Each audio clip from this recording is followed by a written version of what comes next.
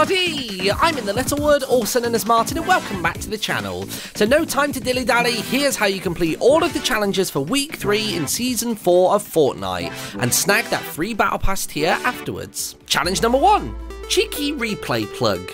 Yep, all you have to do to claim 5 Battle Pass points this week is to click on Career, Replays, most likely confirm after that because there are always out of date replays, let's be honest, and then pick a recording and hit play.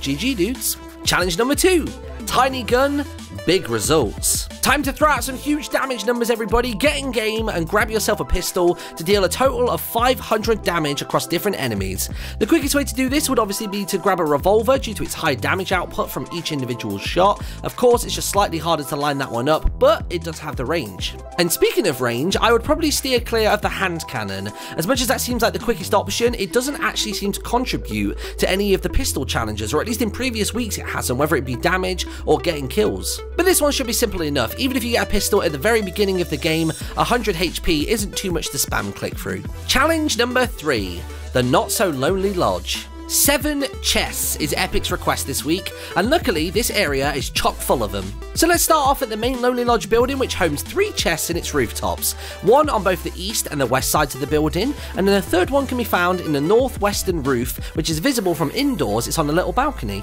Straight east of the main building, there's a hut that contains a chest just inside of the rooftop. If you make your way back to the main building and go southwest from that location, the first hut that you come across that's a singular bed has a chest inside of its rooftop. Just southeast of here, there's a two-floored wooden structure that homes a chest on the top floor, which is tucked away just in the corner as you come through the doorway. Right next to this building on the southern side, there's a huge, obnoxious wall. Not really much of a view for its renters, but atop that is a little campsite and there's a chest with some trail mix and maybe even a gun or two. Instead of scaling the wall this time, try walking around the side of this mountain, and you'll notice that there's been a huge hole punched right the way through it, and inside of there, sat snug between a couple of rocks, is another chest. So there are four final chests that I want to let you know about, but I don't know for certain whether they count towards the quest currently or not, so don't quote me on this, but I thought I would let you know they're there. So the first ones can be found above the large wooden watchtower. That's got three chests inside of it. So the first one sits inside the central column, about three quarters of the way up. Another can be found in the room at the tippity top of it, and then if you go outside of that room, around the balcony, sneaking around at the back, is one more remaining chest. Then our fourth and final chest for this area is if you go west of the watchtower, it'll be the first hut that you come across. There's a chest in the rooftop there. Challenge number four, Rubber Duckies! You were walking through the Lonely Lodge. Everything seemed fine, and then all of a sudden, crack, a monster appeared! You had to collect it in order to not get killed. And you've got to do it another nine times to save the world? Okay, here's a list of all the rubber duckies that I've managed to find. Let's start on the east side of the map and we'll move all the way over to the west, beginning at the Lonely Lodge. Just east of the main Lonely Lodge building, in the waters right there, you can find yourself a rubber ducky. Follow that water all the way south until you reach the dead end wall and there's another rubber ducky sat right there. From there, head to Retail Row, and you know that huge tower that's there? It's the weird large metallic one that looks like a squashed ball. Basically, at the foot of that, there's a generator. If you smash that to pieces, inside of it is hiding a rubber ducky. Make your way west across Retail Row into the residential area, and you want to go to the abandoned house, the really broken and shattered one that lives closest to the red house, so it's kind of on the far northwest area of Retail Row. And right there, inside the bathtub, you find yourself a duck. And that's about the only one that actually lives inside of a bath, unfortunately. Our next one is all the way over in Fatal Fields. If you go to the small water portion on the southern end of it, you can find a rubber ducky sitting there. You're probably noticing a theme here that they like to be in water. Next up, you want to go all the way to the very most southern point of the map, basically where Lucky Landing is. Make your way slightly southwest so you can see where the river drops off the edge of the map, and there's a rubber ducky sat right there. From that point, follow the river north until you reach the first bridge, so it's the one that's northwest of Lucky Landing, and beneath that bridge, by the ice cream truck, you'll find yourself another one. Now follow this water all the way north to the largest deposit of water on the map, Loot Lake. If you make your way to the northern end of this, there's a very tiny dock, and by that dock with the two boats, there's another rubber ducky. Now, I've got to admit, I thought this challenge was going to be easier. I thought more ducks would be in baths, or, like this one here, inside a shower room at the football arena.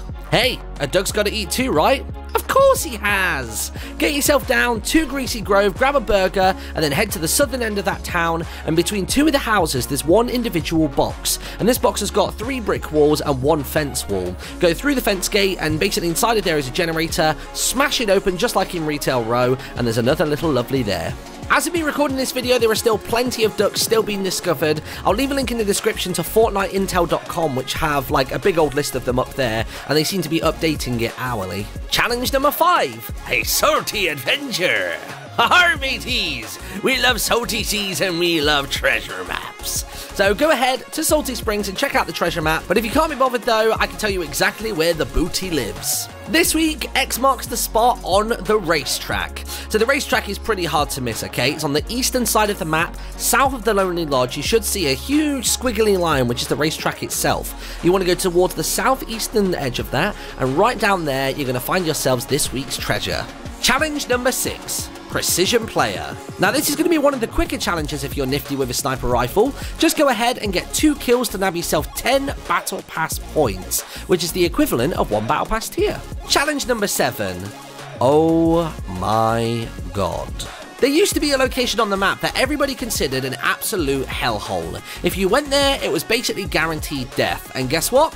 It's gonna happen again. So even though tons of people started landing further over to the east due to a meteor crashing into the map, Epic now wants to send everybody back to the big old city of Tilted Towers. Land there, spray to win, get 3 kills, and then you're all finished up for the week 3 challenges. Now normally this would be the part of the video where I let you know where to find this week's free Battle Pass tier, but unfortunately about 6 minutes ago Fortnite did tweet out saying that the update has been pushed back to tomorrow, May 16th and the servers will go down at 8am. Unfortunately for me, I actually hop on a plane overnight going to Germany, so I'm just not going to be here to give you that kind of information. But what I can do for you instead is leave a link in the description to a website that will very likely have the answers you're looking for, and of course when I get back from my trip I'll be sure to have a little try of the brand new burst rifle. So if you have watched this video this far, thank you very much. Leave a like on it if it helped you out or if you just stuck around for the whole thing, and I will catch you all in the next one.